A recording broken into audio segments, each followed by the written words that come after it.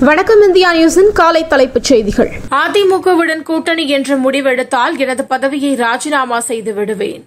பாஜக மாநில தலைவர் அண்ணாமலையின் பேச்சால் தமிழக அரசியலில் பரபரப்பு. கூட்டணி குறித்து தேர்தல் நேரத்தில் அதிமுக முடிவெடுக்கும். முன்னாள் அமைச்சர் ஜெயக்குமார் காட்டம். கூட்டணி குறித்து தேசிய தலைமைதான் முடிவெடுக்கும். பாஜக எம்எல்ஏ நயினார் நாகேந்திரன் பேச்சு. அதிமுக பொதுக்குழுவுக்கு பிறகு தண்ணீர் பாட்டிலை பார்த்தால் அலர்ஜியாக உள்ளது. ஓபிஎஸ் பேட்டி. அதிமுக பொதுச் செயலாளர் தேர்தலை எதிர்த்து ஓபிஎஸ் தரப்பு மனு. இன்று காலை சென்னை உயர்நீதிமன்றத்தில் விசாரணை. பொதுத் தேர்வு எழுத எழுபத்தி ஐந்து சதவீத வருகை பதிவு கட்டாயம். அமைச்சர் அன்பில் மகேஷ் பொய்யாமொழி அறிவிப்பு. தமிழகத்தில் அனைத்து பல்கலைக்கழகங்களிலும் ஒரே மாதிரியான நிர்வாகம் அமைத்திட விரைவில் குழு. அமைச்சர் பொன்முடி தகவல்.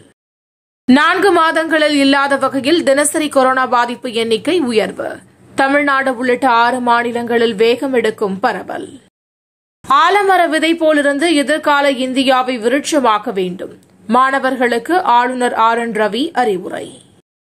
அதானியை பாதுகாப்பதற்காகவே நாடாளுமன்றம் முடக்கப்படுகிறது. பாஜக மீது விசிக தலைவர் திருமாவளவன் குற்றச்சாட்டு. சுதந்திரத்திற்கு பிறகு இந்தியாவின் பால் உற்பத்தி பத்து மடங்கு அதிகரித்துள்ளது. உள்துறை அமைச்சர் அமித் ஷா பெருமிதம். நியூசிலாந்தில் மீண்டும் நிலநடுக்கம். ரெக்டர் அளவுகோளில் ஐந்தாக பதிவு. தமிழ்நாட்டில் அடுத்த ஐந்து நாட்களுக்கு இடியுடன் கூடிய மழைக்கு வாய்ப்பு. வானிலை மையம் எச்சரிக்கை. ஒருநாள் போட்டியை காண சலிப்பு ஏற்படுகிறது. சச்சின் டெண்டுல்கர் கருத்து.